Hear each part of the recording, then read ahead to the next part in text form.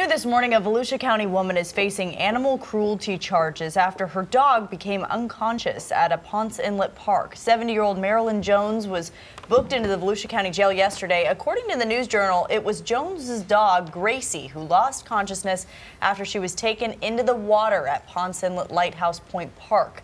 Here's a picture of the dog. The beach patrol later told us witnesses actually performed CPR on Gracie, saving her life. Gracie was then taken to a local veterinarian's office for observation. Her owner is currently being held in jail without bond.